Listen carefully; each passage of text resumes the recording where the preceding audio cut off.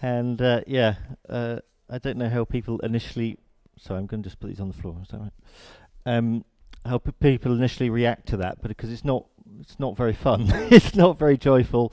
It's a little bit difficult. I find it difficult. Anyway, there are some messages in there, including genocide, um, which seem to be God sanctioned, and um, yeah, I don't know. When I originally read it, like, what is going on here?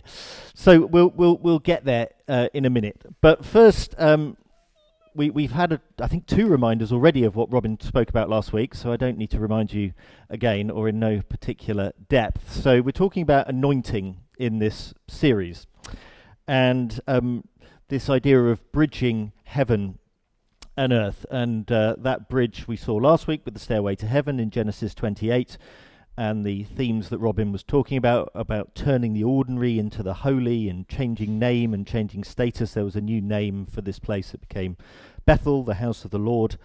Um, and uh, what's his face? Jacob then anoints the stone. Do you remember that? That was his pillow. He anoints it, and that's a, a, a special moment and a, a transforming moment.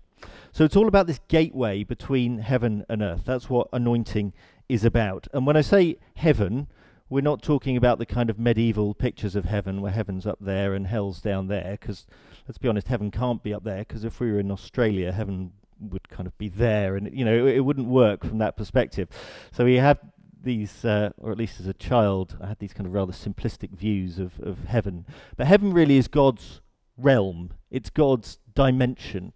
And sometimes we, we glimpse it, sometimes we see bits of it, we see bits of God's rule and reign coming, his transforming power on earth. Uh, and that's what it really means to bring heaven to earth, to bring his transforming rule and reign to earth. And of course, heaven and earth were always supposed to be together. If you look at the, the biblical story, in Eden, God's realm and our realm are together. There's there's a natural um, synergy in coming together between the two. And if you look right at the end of the Bible in Revelation, what do we see there?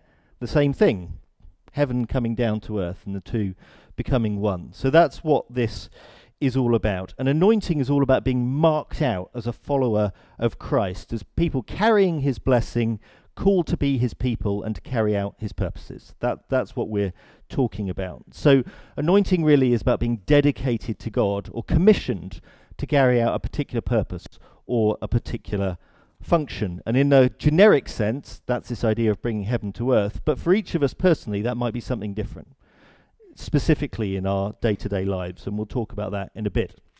So, today we're talking about the anointed king number one. This is kind of like the bad anointed king, and I think Robin's given himself the good anointed king next week, which is uh, which is David. Sorry. It's chronological, exactly. What can you do? So uh, originally, anointing was all about priests. That's what uh, you'll you'll read in the Old Testament. So when we saw the or had the anointing passage read earlier on, it was very specifically he said, "I anoint you as ruler," because that wasn't the normal way of doing things within Israel.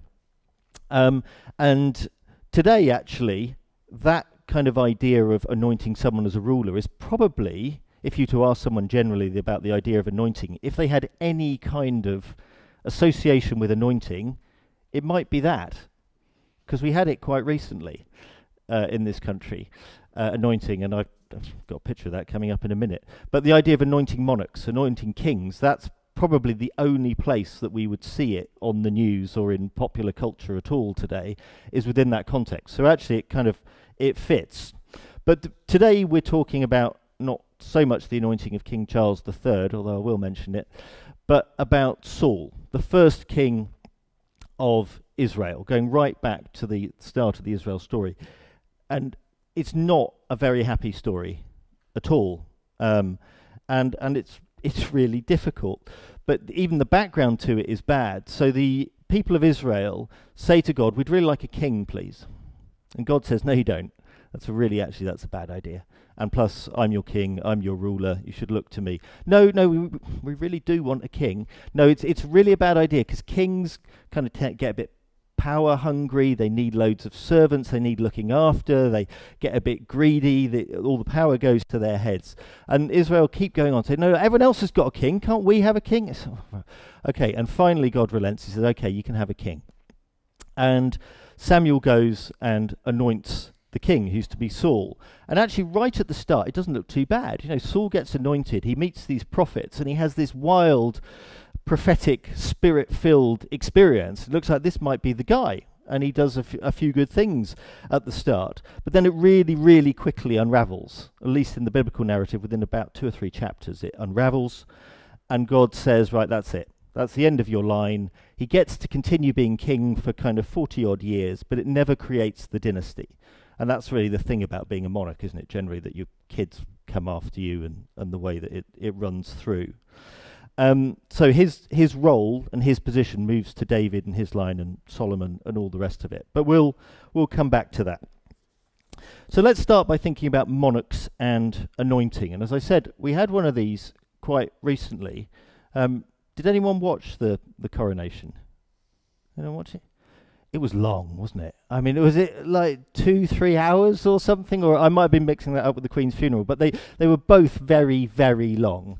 Um, and all this ceremony and pomp and all the rest of it that goes with it. Um, does anyone remember seeing the anointing part of that service? It's a trick question. Yeah, exactly. You can't have seen the anointing part of the service because you know it's happening because Huw Edwards, with his dulcet tones, is telling you what's going on behind a screen, but you, you don't actually see that bit of the ceremony because that's seen as the really, really sacred bit of the ceremony. That's just a bridge too far. That isn't for the, to be broadcast to the world. That's a, a private and, and sacred part of the ceremony. But it did get me thinking, I wonder what, what oil they used for this, picking up on what Robin was talking about last week. And there is there, there's there's a biblical recipe for anointing oil. So if you're ever interested in just putting a bit of holy oil together, have a look at Exodus 30. That's the place to go, and it's these five things, um, and it has the the particular um, proportions in which you should make it as well, so you get that all right. And these are your five things: so liquid myrrh, cinnamon, aromatic cane, cassia, and olive oil. I think most people might have olive oil at home, but they might might struggle with the other. Oh, cinnamon, I suppose. Um,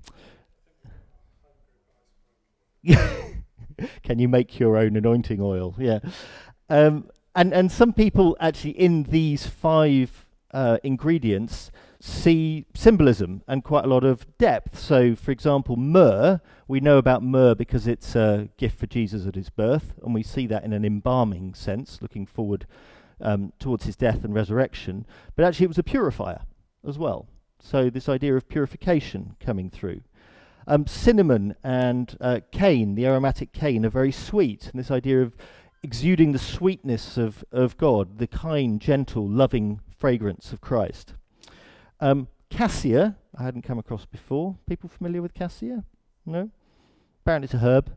Um, and you have to, it, it, grows in very wet places, kind of swampy places. So this idea that we have to be planted deep in the living water is that what some people see as the symbolism in that. And you see that in our symbol as, as a church. We have that as well, the, the tree going down into the water. Um, and then finally, there's olive oil. Not only is olive oil the superfood in the sense that it's brilliant for you and it in, kind of encapsulates so much goodness, the making of oil uh, requires a bit of shaking and stirring and crushing and uh, perhaps looking at some of the difficulties that we might face in the course of the Christian life. So, quite a lot of things wrapped up in there. Which then, yeah, made me wonder how that then c- compares to what King Charles III had in his oil. So, apart from olive oil, he had sesame, rose, jasmine, cinnamon, so that's the, the one common factor, neroli, benzoin, uh, amber, and orange blossom. And the olive bit, the olives from the olive oil, came from the Mount of Olives in Jerusalem. They took it to the Church of the Holy Sepulchre in Jerusalem. The uh, Anglican Archbishop blessed it with the Orthodox Patriarch of Jerusalem, who's brilliantly called His Beatitude Theophilus III, and they consecrated it together. And something actually I read which was really nice about this and picks up on part of what Robin was doing last week when he anointed Leah is that with the with water which we see in baptism, that's very much about washing things away, whereas oil is really sticky um, which is unpleasant from one perspective. But from another, it's a really nice symbol of the stickiness of the anointing, the stickiness of the blessing, that it doesn't just wash away, but it's something that stays with us. Um, Incidentally, by the way, I don't know if people are connoisseurs of anointing oil because there were there were three things missing from King Charles's oil, which were in Elizabeth II's anointing oil. All right, I'll uh, I, will give a multiple choice question on what they are. They're all animal related, so um, uh, uh so I've given you six options. Three of these are true things which were missing from the anointing oil for King Charles III, and three I've just made up. So uh, your six options are bear, cat, locust, sperm whale, deer, and lion. So three kind of bits of these animals were involved in Elizabeth II's anointing oil, and three were not. Three I've just added for confusion purposes. exactly right. Yeah, yeah. He did. He, he, didn't like the idea of any animal cruelty, so that's why that was all all taken out. But um, yeah, any any guesses? Sperm whale, correct? Yep. So sperm whale was in Elizabeth II's. Uh, more specifically, the ambergris, which um, I don't need to explain you, to you what that is, but for people who haven't come across it, the stomach lining of a sperm whale that went in Elizabeth II's. Any others? No, I'm afraid lion. Lion is there to mislead you. Lion is there. Deer. Yep, the secretions of a musk deer is what you would have found in Elizabeth II's anointing oil. And one more. Locust. Now I'm afraid that that's there to deceive you.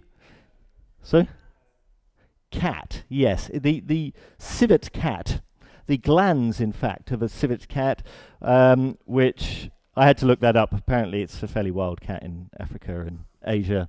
Nocturnal, pretty difficult to find. So I guess if you need the glands of a civet cat, that's going to take you a little, li- little bit of work. Anyway, there we go. After that little excursus, back to Saul. So I don't know about you, but as I say, I find the story uncomfortable. Actually, reading it, I find it pretty uncomfortable. So I think there are. Well, you, you've got the point where obviously God's saying you don't need a king anyway, but then he chooses to anoint someone through Samuel. So he picks someone for this job. They're filled with the Holy Spirit. And then there are basically two major things that go wrong. One we read about with the Amalekites, and one appears in between, which is to do with Saul offering a sacrifice and not waiting for Samuel. And we'll talk about that a little bit more in a minute. And then there's this idea of genocide, basically. I told you to kill all of the Amalekites, and you only killed most of them.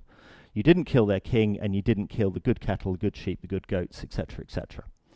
Um, and I don't know if that makes anyone else feel uncomfortable, but it really makes me feel very uncomfortable. The idea that this is seemingly God mandated genocide, I guess we would call it, wiping out a whole people group. The other thing is, even if he was supposed to do those things, was it really that bad that God would then turn around and say, That's it, sorry, time's up for you? You know, David did terrible stuff, murder, adultery, you know, all lots of other awful things he was involved with. Solomon don't even go there.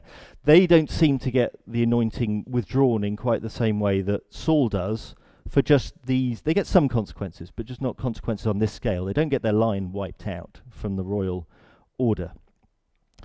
Um, and I think when I was looking at this, I thought, well, I'm just going to have to do the hard work of reading the Old Testament in its context and in its world because if I just come at it fresh, this is um, it's going to probably lead me uh, in a direction where I'm just ignorant of quite a lot of the things which are otherwise going on here.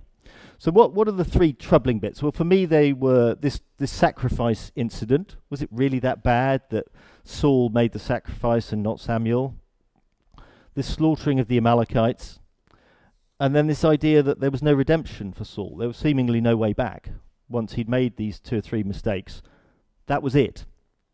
Um, so let's talk about this sacrifice story to, start off with. This this wasn't in the bit that we read earlier, so I'll just do a very quick summary of it. So it's 1 Samuel 13. So there's a battle with the Philistines. The Israelites are massively outnumbered, and they're scared. They're really scared. If you read the bit in 1 Samuel 13 later, they're hiding in caves. You know, they're they're petrified. They don't really know what to do. Samuel is due to come in seven days. That was in the passage we read earlier, actually, where he said, "Go down to Gibeah and I'll, I'll or Gilgal, and I'll come in seven days." Samuel's late. Right? Samuel doesn't show. He said, "I'm coming in seven days." Seven days are up. Samuel's not there.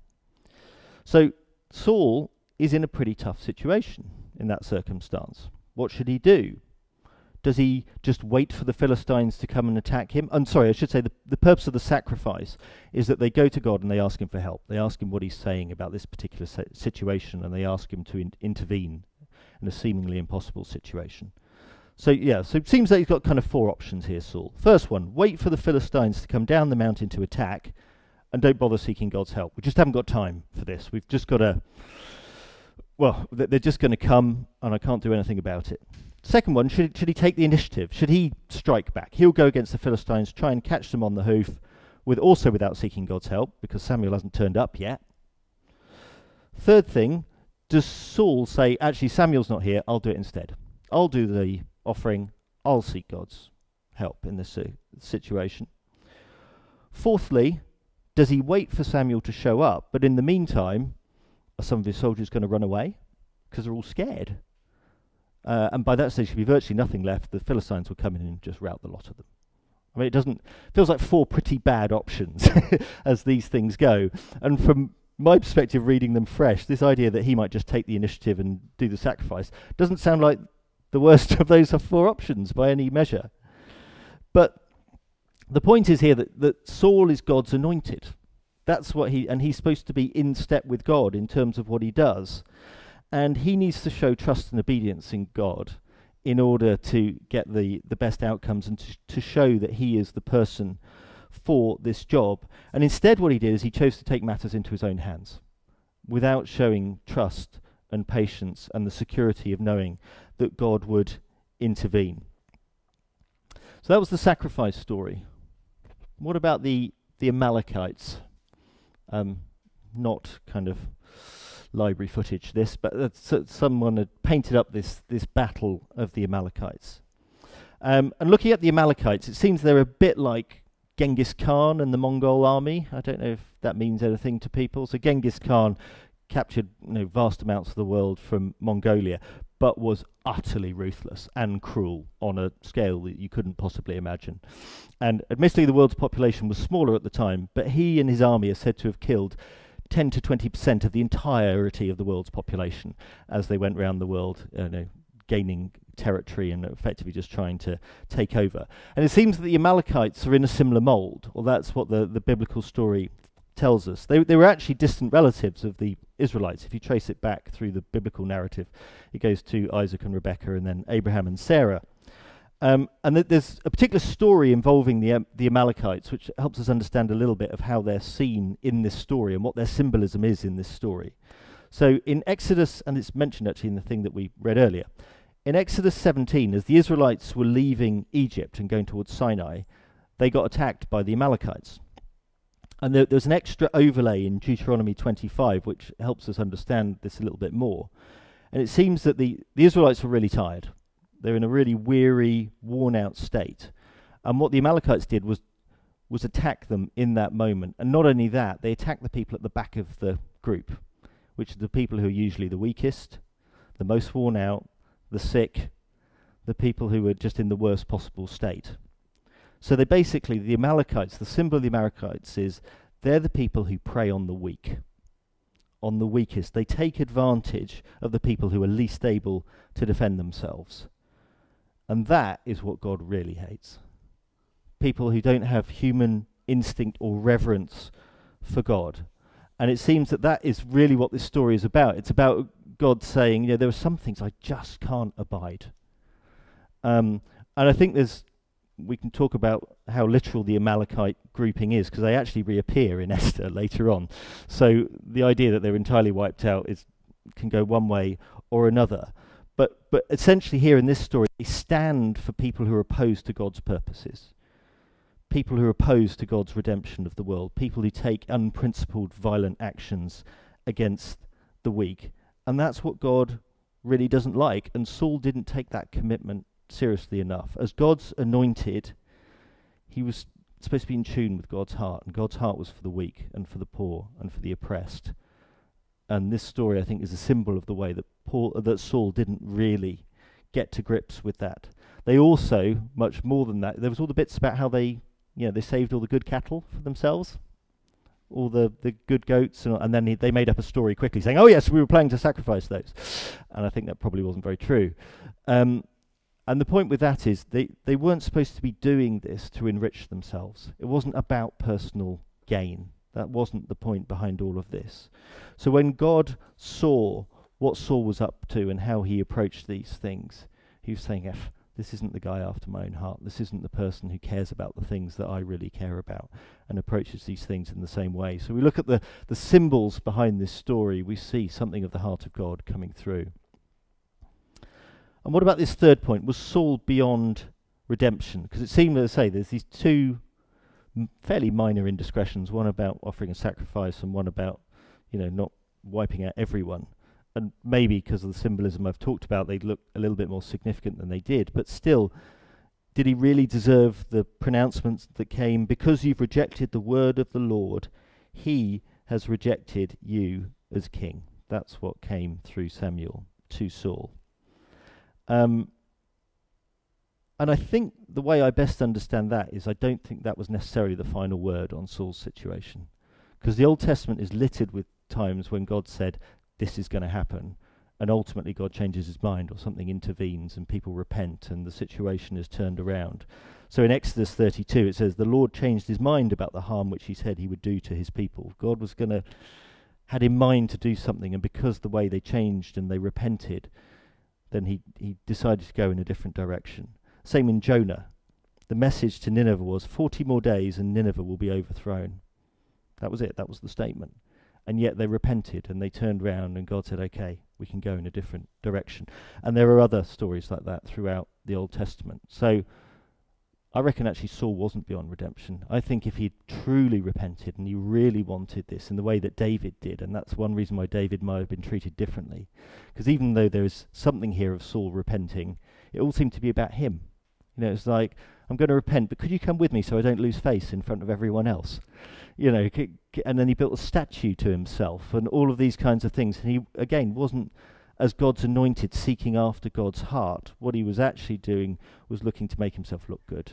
I think at that point God was saying, well, maybe not you're not the man for the job anymore. That's why the anointing seems to have been taken from him and say, okay, that's it. Thus far and no further. So the question for me is then, after all of that, what does it mean for us? What do we take from this as anointed people, as people who see ourselves as anointed by the Spirit? And I think it's in part that being anointed isn't for our benefit, really. It's as God's representative. It's so that we can carry out God's purposes in the world, because we are anointed for a purpose. And it was these three things, which have come up very small, which um, I wanted us just to think about in the kind of in the last few minutes, and then maybe we'll have a bit of time of silence for us to reflect on them before we go into our final song. And the first is if we're talking about purpose, and as I say, I think this is about capturing and pursuing a particular aspect of God's heart or God's character. In the Amalekite story, it was it was care for the weak. That was the aspect of God's character which is shown there. Um, and, and what what is it? What particular aspect of heaven does God want us to bring to earth? um, I- in a purpose for our lives. And I think for some people might say, well, I don't really know what that is. I don't know what that purpose is because I think for all of us there could be something unique. There's the general, you know, love God, love our neighbour. That's fine, but that's a bit generic. You know, what what is it for me personally?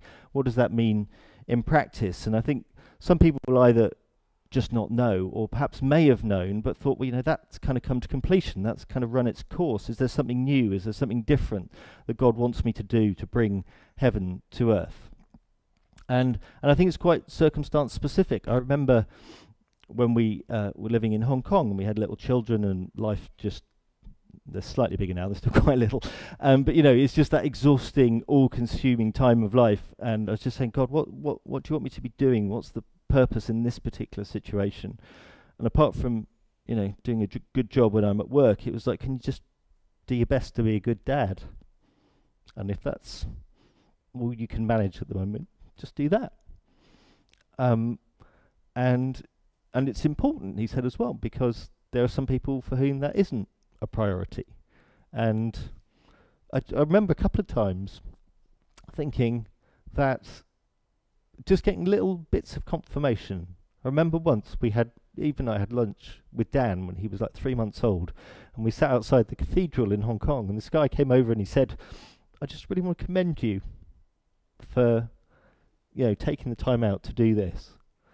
Um, and and one of my colleagues spoke to another friend of ours who they happened to come across and say, you know, it's really good. I noticed Richard's got a lot of time for his family, and he even makes that really important, which isn't a given for um, people in that culture for, for various different reasons at different times.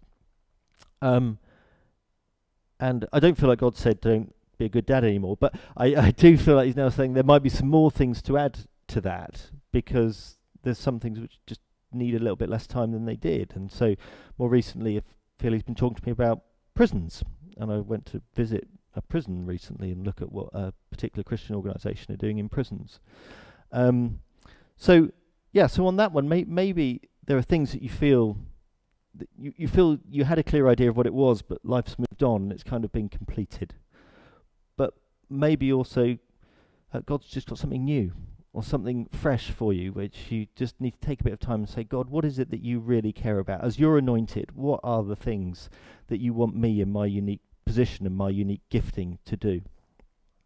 Second thing that came through is that you, you might know the purpose, but you just lost sight of it a bit.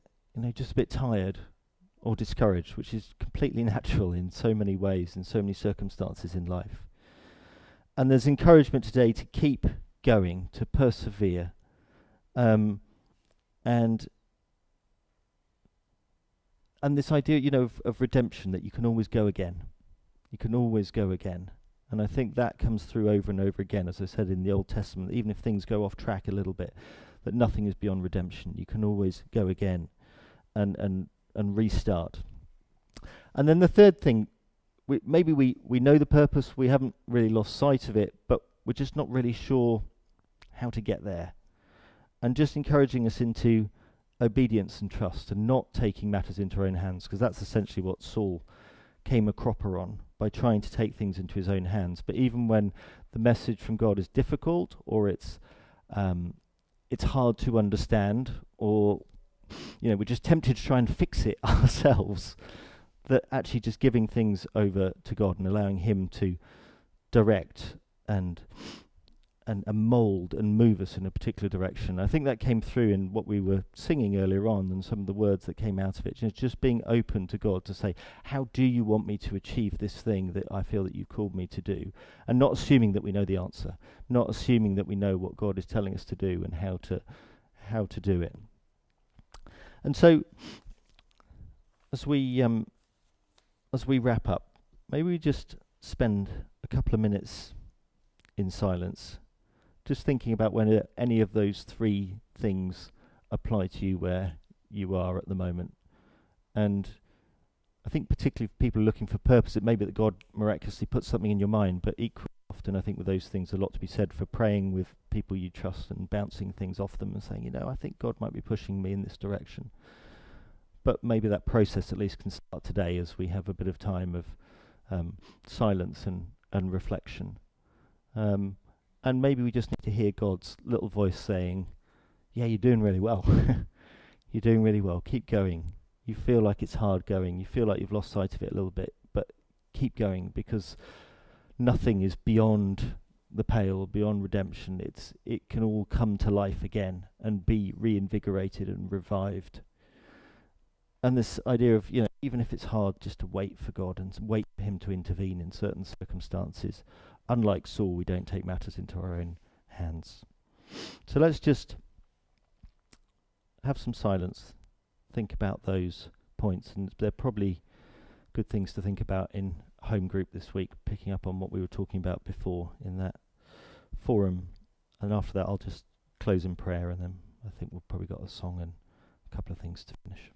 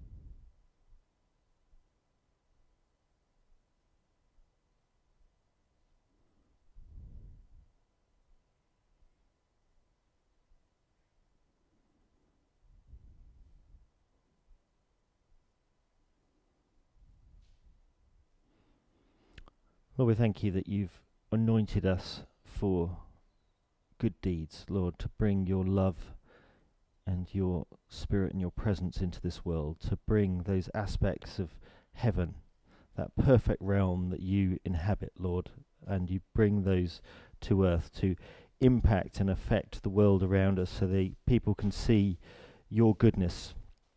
And Lord, we pray that you would give us all a sense of, of purpose, a sense of vision of what it is that you've got for us in that particular context. Lord, what aspect of heaven you want to bring to earth through us, Lord, be it in our families or our friendships, our relationships, our interests, our hobbies, our clubs, our our work, um, charity work, Lord, volunteering, whatever it may be, Father, we thank you for all these opportunities that are around us, and we pray that you would revive our sense of purpose and you would revive us to keep going, particularly where we've been plugging away at things for years and years and years, and sometimes sometimes we become a bit less enthusiastic about it, Lord, and we pray that you would revive and reinvigorate and, and restore and seal in us, Lord, the sense of of that being what you have for us and that you are empowering us and going with us. And Lord, when we're in the midst of it, we pray that we would have that sense of trust and obedience, even to do things which might feel a bit awkward or difficult or counterintuitive, Lord, but just knowing that as your anointed Lord, we want to be in step with you. We want to hear what you're saying and we want to be that gateway, Lord, for your rule and reign to come to earth.